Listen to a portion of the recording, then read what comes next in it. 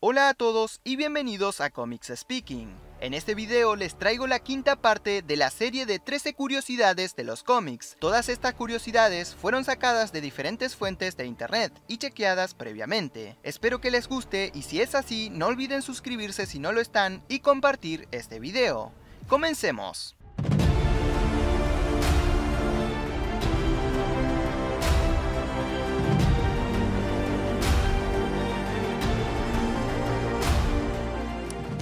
Stan Lee, quien es conocido como el padre de los superhéroes por haber creado la gran mayoría de los héroes de Marvel, tales como Spider-Man, Hulk, Iron Man, Thor, Daredevil, X-Men, entre otros, creó un programa de televisión donde buscaba seres humanos extraordinarios o superhumanos. El programa llevaba como nombre ¿Quién quiere ser un superhéroe? y se transmitió entre el 2006 y el 2007. Mario Puzo escribió para Marvel, el famoso autor de la novela El Padrino empezó su carrera escribiendo cómics para público masculino en Marvel. Stanley inclusive llegó a probarlo como guionista para cómics de superhéroes, algo que nunca llegó a concretarse debido a que Puzo encontró el género demasiado difícil. Luego de hacerse un nombre como novelista, Mario Puzo cruzó a la vereda de enfrente para escribir los guiones de las películas de Superman. En los cómics, Wolverine tiene solo 1,60 m de altura, mientras que Hugh Jackman, que interpretó a este personaje en la pantalla grande, mide casi 1,88 m. Así que cuando empezaron a rodar la película, necesitaron ocultar la altura de Jackman, especialmente en las escenas con otros mutantes. Por ejemplo, James Marsden, que interpreta a Cíclope, tiene 1,77 m de altura, y supuestamente es mucho más alto que Wolverine. Es por eso que James usó botas con una plataforma especial para hacer que Jackman pareciera más bajo. Creado por Stan Lee y Jack Kirby en 1962, Victor Von Doom, más conocido como el Doctor Doom, ha sido uno de los principales archienemigos de los Cuatro Fantásticos. Sin embargo, muchos fans no han podido evitar fijarse tiempo después el tremendo parecido que tiene el villano de Star Wars Darth Vader con Doctor Doom. La repercusión fue tal que incluso el propio Kirby llegó a escribir sobre ello en los cómics de los Cuatro Fantásticos, diciendo que le habían quitado a Darth Vader. A día de hoy se siguen haciendo referencias entre estos dos populares villanos. Batman al principio mataba. En las historias originales, Batman llevaba pistola, le vimos disparar, ahorcar a gente con una soga e incluso desnucar a un desgraciado de una patada. Lo de no matar vendría más tarde, a medida que el cómic se suavizaba. Y aún así, ha habido veces que mejor que Batman hubiera matado a su enemigo en lugar de optar por la clemencia. Sino, que se lo pregunten a villanos como Caje Bestia, aparecido en la historia Batman 10 Noches de la Bestia. No voy a revelar ningún spoiler, pero si quieren saber a qué me refiero y juzgar por ustedes mismos, lean la historia.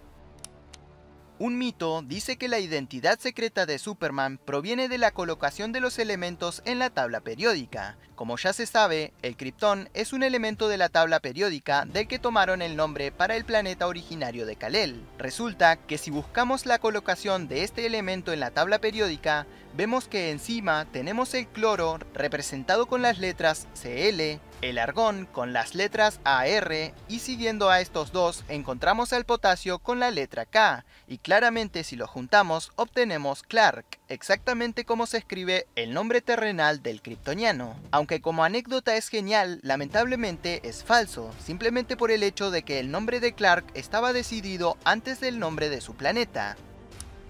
A Spider-Woman se le dio el verdadero origen de Wolverine. Corría el año 1976, un año después de la creación de Wolverine, y Filmation, una productora de dibujos animados basados en superhéroes, iba a crear nuevos héroes, entre ellos, al parecer, una mujer que lanzaba telarañas. Marvel entonces actuó rápido y creó a Spider-Woman, para evitar que pudiesen utilizar un nombre parecido a Spider-Man. Parece ser que funcionó, ya que la superheroína de Filmation pasó a llamarse Web Woman. Como siempre, cuando se crea un personaje había que actuar rápido y buscar un origen, así que Marv Wolfman, su creador, utilizó el no usado origen de Wolverine, estableciendo que Spider-Woman era una araña evolucionada por el alto evolucionador. Si quieren conocer más sobre Spider-Woman, en la esquina superior derecha de este video les estará apareciendo un link hacia el video con su historia.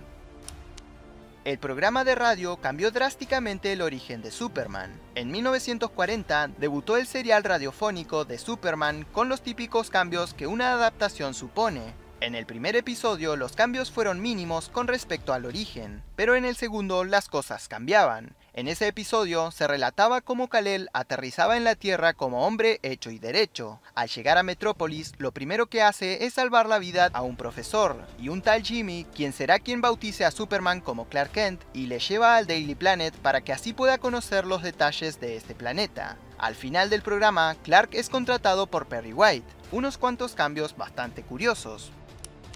Joe Josko posó como Capitán América para una portada. Joe es uno de los mejores artistas que han pasado por la industria del cómic, pintor de grandes portadas y pin-ups, además de responsable de las ilustraciones del juego de cartas Marvel Masterpieces, que la editorial lanzó a comienzos de la prodigiosa década de los 90. Existe una curiosidad sobre él, poco conocida, y es que posó como el Capitán América para la portada del número 128 de Marvel Team Up, con fecha de portada de abril de 1982. La portada, como pueden ver, no es muy buena, parece la típica foto de cualquier salón del cómic puesta sobre un fondo neoyorquino. Definitivamente, a Marvel le gusta pagar para que artistas hagan cosplay, porque no fue la única portada de este estilo que realizó la editorial en esa época.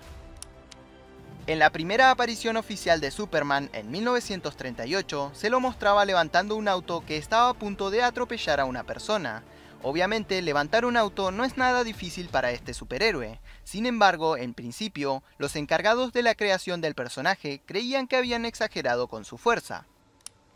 Para recrear la nación ficticia de Wakanda, el equipo de producción rodó en parajes naturales de Zambia, Uganda, Sudáfrica y Argentina, además de filmar en Busan, Corea del Sur y en Estados Unidos.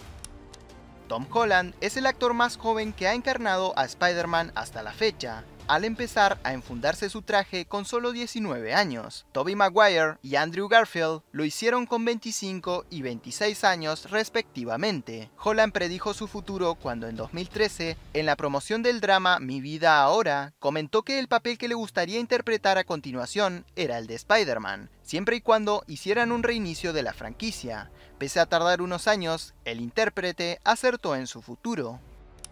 La portada del cómic sobre el matrimonio de Deadpool tiene el récord Guinness por la mayor cantidad de personajes de cómics en una sola portada. Muchísimas gracias por ver este video. Si conocen alguna otra curiosidad que pueda agregar en el siguiente video sobre curiosidades de los cómics, coméntenla y si me gusta, en el próximo video aparecerá no solo la curiosidad, sino también un screen de tu comentario. Ahora me dirijo a todos pidiéndoles que si aún no se suscribieron al canal, pueden hacerlo ahora si gustan. Y no olviden compartir este video para que podamos llegar a más frikis. Los espero en próximos videos.